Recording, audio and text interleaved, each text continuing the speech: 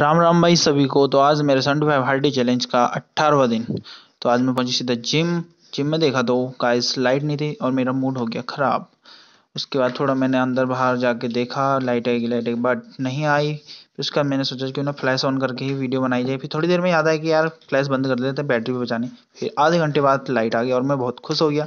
फिर आज मेरा था शोल्डर का वर्कआउट तो ले फिर स्टार्ट कर लिया हमने शोल्डर की वर्कआउट बारबल रॉड के साथ, उसके थोड़ा लग नहीं रहे तो मैंने अपने ट्रेनर को बुलाया। उसके ट्रेनर ने हमें स्पॉट किया, पीछे से स्पॉट दिया। उसके बाद मैंने मेरे डम्बल से मारे दो चार, तीन चार साइड इसके हमारे डम्बल से, अपर एंड के। उसके बाद मैंने ये मशीन से मारे। इसमें थोड़ा वेट कम कम ही लगा बिकॉज़ बहुत भर गए थे शोल्डर। उसके बाद मैंने ये वाली एक्सरसाइज करी शोल्डर की। इससे भी देख रहे तगड़े शोल्डर निकल रहे थे मेरे। उसके ये करने के बाद भर गए थे, उसके बाद फिर मैंने थोड़ा रेस्ट करने के बाद फिर मैंने करी ये वाली एक्सरसाइज ये वाली एक्सरसाइज करने के बाद इसमें भी शोल्डर बहुत निकलते हैं। तो ये वाली एक्सरसाइज करने फिर मैं चली गई डंबल से बैठ के एक्सरसाइज करने। ये वाली एक्सरसाइज मैंने फ़र्स्ट टाइम करी, कोई गलती होगी बताना। और उसके बाद बहुत थक जाने के बाद मैंने लास्ट में पिया पानी। उसके बाद मैं सीधा गया घर।